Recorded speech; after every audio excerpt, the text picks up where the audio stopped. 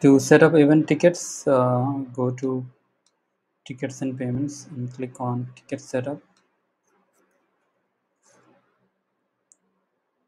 And there you, you need to create tickets. Uh, so click on add new ticket button here. Enter the ticket name.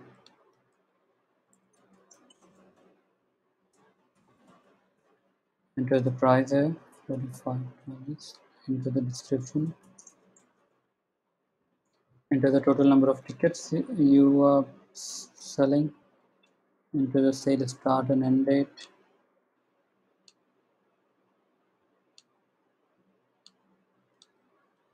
And then click on save. So now your um, ticket is now uh, available for sale and if you want to see a preview you can click on the preview button and it would display your test ticket that we just created Yeah.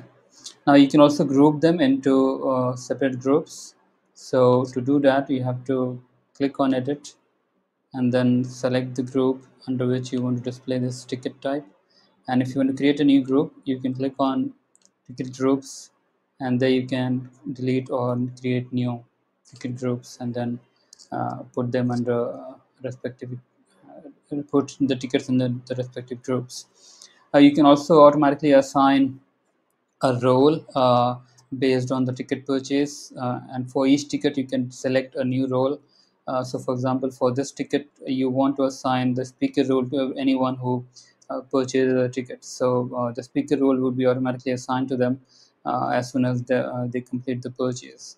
Um, so this is something which is very handy if you want to tag them with a new role. so you have a list of attendees with different roles uh, and would be easier to find uh, to filter them uh, under the contacts you can also hide tickets from everyone and display it only to a specific role, uh, users with a specific role. So only when they log in, they would be able to see these tickets. Uh, otherwise, those this particular ticket type would not be displayed to them. So either you can select a role, or if you do not want to display it to everyone, then just uh, do not select any role here. You can also set a limit on how many tickets one can purchase. Uh, uh, so this is the limit the maximum limit is 10 minimum is 1 uh, and uh, yeah so uh, after the ticket ticket setup has been completed. You now to you now need to go to the payment setup and uh, create uh, select the payment method that you want to use. So you you can accept credit card payments. So you can use stripe or paypal or authorize.net if you are using a stripe then you need to provide the stripe keys. If you're using authorize.net, then you have to provide the transaction key and the authorize.net login ID. Uh, similarly, for the PayPal, you need to provide the login credentials. Um, and uh, other, uh, apart from this, these payment gateways, you also have additional payment gateways. For example, Mollie, uh, which is in Europe. Uh, we have Paystack for African users, uh, users from Africa. Square for for users from US. Uh, Stripe again uh, is uh, for those who also require 3D secure payment payment um, um, process, which is currently only available in Europe. Um, so yeah, and apart from online payment methods, you can also enable offline payment methods, including check, demand draft, wire transfer, and pay at the venue.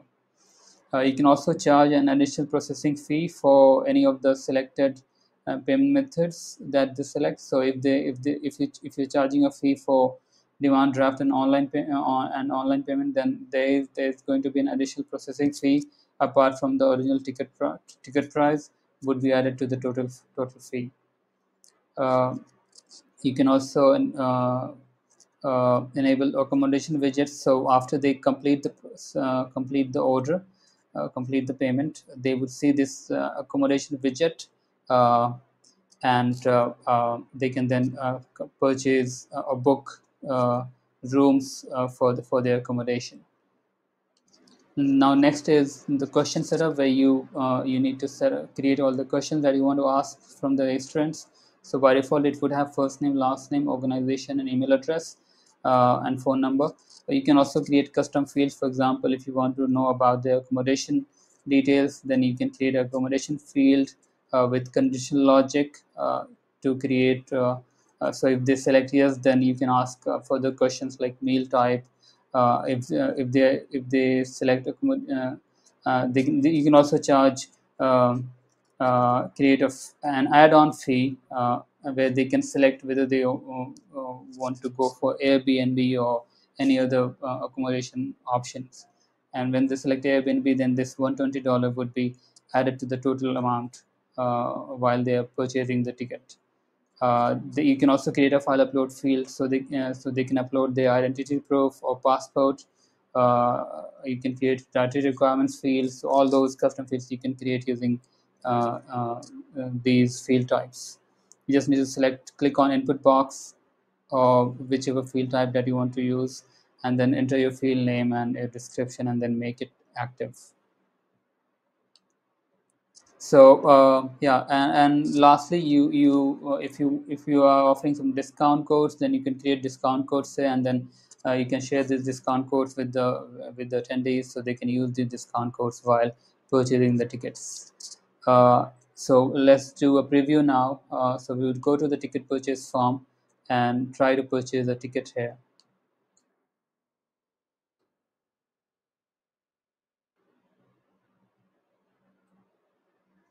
and uh, uh, uh, so there is a way one can if someone is either is logged in then one does not need to fill in the details uh, they uh, they can auto populate all the information from their existing profile.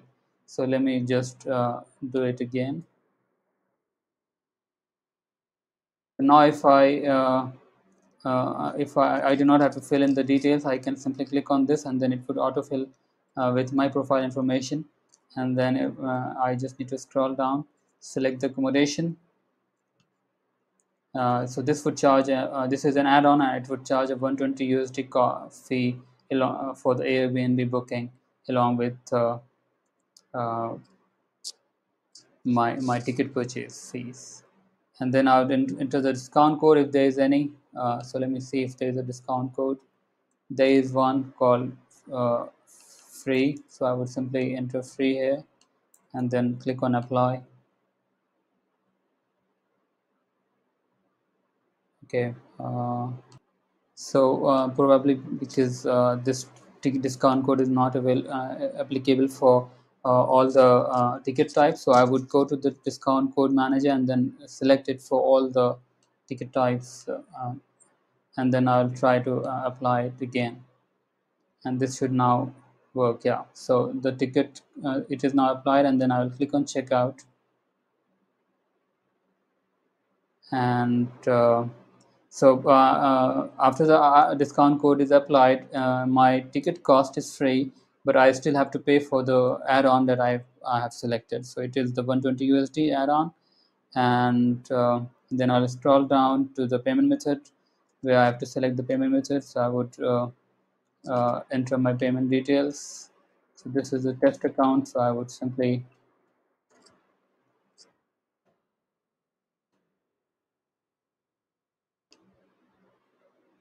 and there would be an additional fee of 40 USD for processing, this payment because this has been enabled in the backend. Now I'll click on complete payment.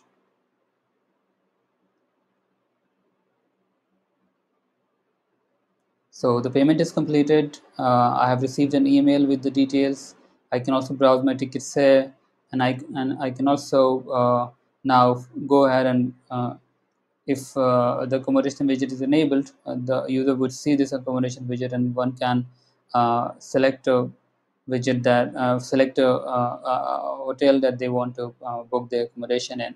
I'll click, click on this, and then this would take me to the hotel website where I can book my stay so this is all uh, uh, the these are all the steps that we need to uh, to set up the event ticketing uh, on on on our Dryfta website. Thank you.